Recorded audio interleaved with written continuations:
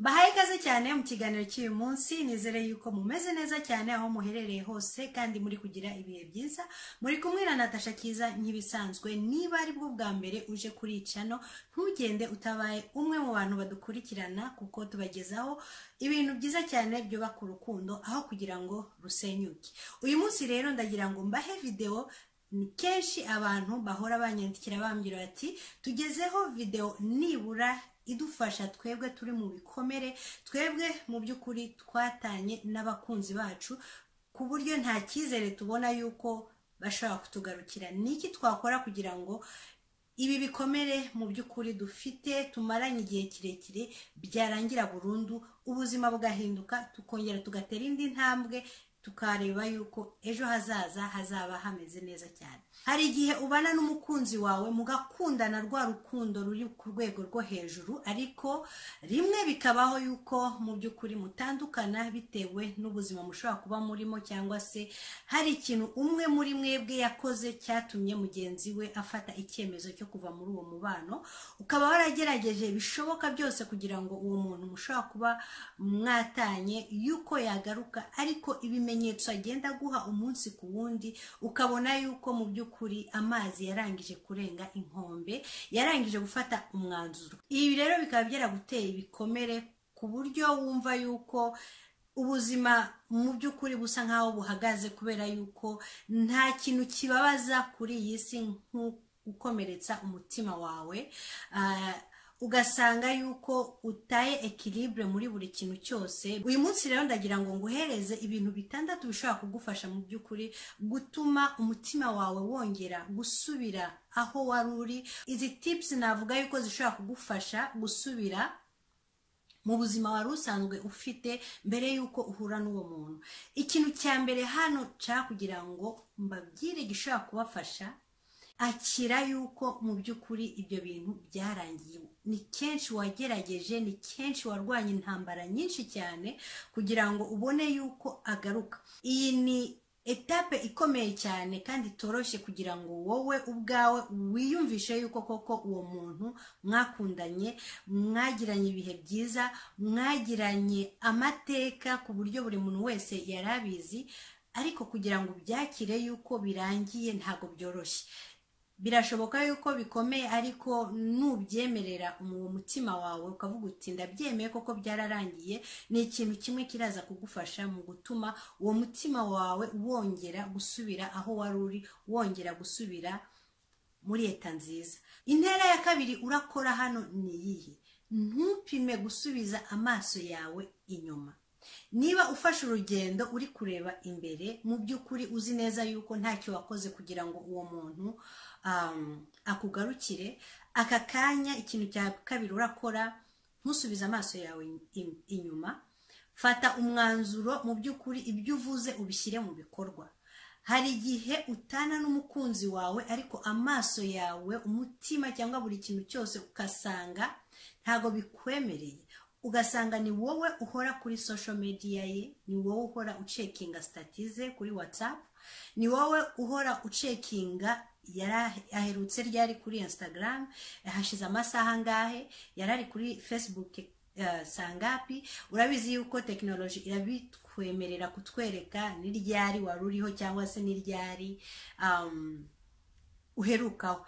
Igihe rero ufashe uwo mwanya wo kuba wowe wenyine wisubiza muri bwa bubabare ni uko uba wipermese yuko wongera kubabara ni ugutoneka cya gisebe. Ariko nufata umwanya wawe ukavuga uti you know what? Amaso yanjye nyajyanye imbere ntabwo nshaka kugira ngo nongere nibabaze ukundi. So niba hari ikintu warebaga cyane kibahuza urugero uti e yasohotse uyu munsi ni wikendi ndabizi araba ari kumwe na kanaka reka njye kukilikinga ku mafoto ya kanaka nongere murebeho cyangwa se reka nkore ibi n'ibi kugira ngo nongere ngire amahirwe yo kumubona. Ibyo rero nufata wa mwanzuro wa kabiri kudasubiza amaso inyuma ngo urebe ibiri guhita mu buzima bw'uwo mu egisi wawe ni ikintu kizagufasha cyane kugira ngo utuze umutima wawe.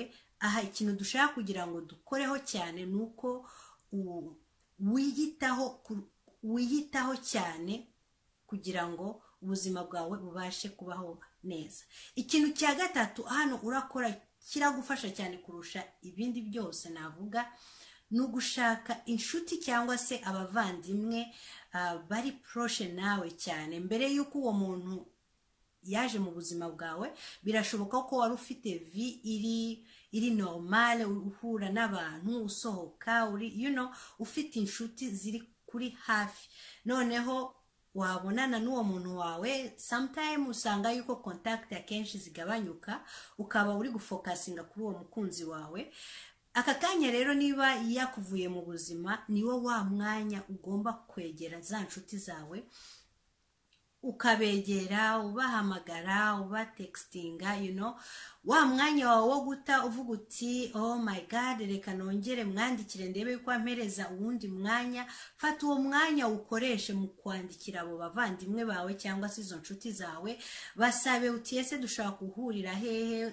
Dushobora gukora iki iyi wikendi you know wigire bize kugira ngo mu by'ukuri uwo muntu umwibagirwe ubundi. So shaka inshuti cyangwa abavandimwe bashobora kugufasha muri ibi bihe urimo niba babizi neza yuko mwatandukanye. Ikindi bakube hafi you know base nk'aho ari bo bari gukondoraho kugira ngo wigunge ube uri wenyine kano kanya. Icyo ni ikintu cya gatatu ugomba gukora kugira ngo mu by'ukuri wiyibagize uwo mukunzi wawe ushobora kuba ushobora kuba yafashe ibyemezo yuko adashobora kugaruka mu buzima bwawe ukundi ikintu cya kane hano ushobora gukora ni ukwirinda kumwibutsa umunsi ku wundi. Niba hari ikintu gikomeye kibaho mu buzima mu bantu bakundanye ni uko hari ibintu bya suvenire bibaho mu buzima. Mu gihe rero uri gukundana n'umuntu kandi mukaza gutandukana biragoye cyane ko wibagirwa za suvenire ya carte postale yakuzaniye ya mafoto yakohereje. Bya bintu byose uzi neza yuko byabaye hagati yanyu mwembi mu makadose cyangwa ikintu imyenda yakuguriye ibyo bintu byose by'amasuvenire uzi neza yuko mu by'ukuri biri aho ngaho. Niba ubona yuko ari ibintu bishobora kuba byatuma umwibuka umunota ku wundi ni byiza yuko wabifata ukabishyira muri karito ukabishyira ahantu nko muri closet yawe cyangwa se mu igaraje aho kugira ngo uhore ureba ibyo bintu bitume umwibutsa cyane. Ushobora kuba ari mizike cyangwa se hari ibintu you know mushobora kuba mwarahuriragaho mwembi bigatuma umwibutsa. Icyo kintu gerageza ukirinde guhura na cyo kugira ngo kitaza gutuma wongera kumwibuka kuko aka kanya icyo ushaka ni ukureba yuko umutima wawe utuza ndetse n'ibyo bintu by'ibimenyetso bikuva mu maso kugira ngo umuvingone aho kugira ngo wumve yuko uri dawuni umunsi ku wundi. Ikintu cya gatanu hano wakora ni ikihe mu by'ukuri? Ni uko ugomba kwiyitaho mu buryo budasanzwe. Gayizi niba uzi neza yuko ufite ikibazo cyo kuba uri wenyine kano kanya uri mu bikomere ntabwo usinzira you know uryama wigaragura ijoro ku rindi uryama umutekereza aka kanya ugomba kwiyitaho wowe ubwawe. Aha ni ikihe kintu cyagufasha kugira ngo ubyibagirwe burundu? Niba hari jimu iri iruhande rwawe cyangwa se hari paki iri aho ngaho gerageza buri gitondo niyo wakwirukanka ibirometero bitatu cyangwa se ukajya muri jimu ugaterura ibyuma ugakora buri kintu cyose gishoboka gituma wumva ko umubiri wawe unaniwe ubwo bubabare bwo kunanirwa. Nicyo kintu urafokasingaho kugira ngo niba wirukanse ibyo birometero bitatu cyangwa se wakoze siporo ikakunaniza nujya mu buriri mu by'ukuri uraba uri gutaka kubera ububabare bw'iyo siporo aho kugira ngo utekereze cyane kuri uwo muntu. Kandi ibi biragufasha cyane kuba waruhuka mu mutwe kuko siporo ni ikintu cy'ingenzi cyane gifasha ku kugabanya siteresi umuntu aba afite. So ni mu kwiyitaho rero wakora kano kanya ni ugukora izo siporo ni ukugerageza ukarya neza kugira ngo umubiri wawe ntugufatirane muri ibi bihe kuko akenshi iyo umuntu afite siteresi ni ho usanga utangiye kurya nk'ibiryo birimo isukari nyinshi kugira ngo bigufashe kugira imbaraga tena muri wowe. Ikintu cya nyuma ugomba gukora ni ikintu gikomeye cyane abenshi baragitsindwa kubera yuko um, ntabwo kiba cyoroshye mu by'ukuri.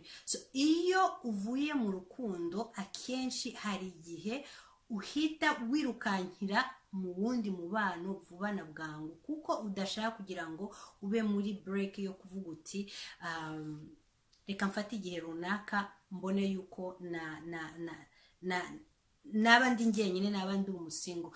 Usanga abantu benshi bava mu rukundo bahita binjira mu rundi mu by'ukuri batabanjije gukira ibyo bikomere uwo mutima wabo kugira ngo ubire mu gitereko. Natanga urugero niba hari abakinnyi bakina umupira ndabizi ko buri muntu wese ashobora kuba yaragerageje iyo game ukagira ikibazo ukavunika ukuguru. Iyo uvunitse ukuguru mu by'ukuri umukoci wawe aguhereza igihe runaka ugomba kuba uri hanze y'ikibuga kugira ngo ubanze ukire ibyo bikomere by'akaguru wageze na byo. Kuko ntago bishoboka yuko bagusubiza mu kibuga ufite izo mvune z'akaguru ngo ubashe no gutera umupira. Kuko ibyo urakora byose uraba uri gutoneka ka kaguru cyangwa se rya gufa ryavunitse. So niyo mpamvu ubona gukubita nk'amezi atatu cyangwa se ibyumweru bitandatu cyangwa umunani ibintu nk'ibyo ngibyo ukaguma inyuma y'ikibuga.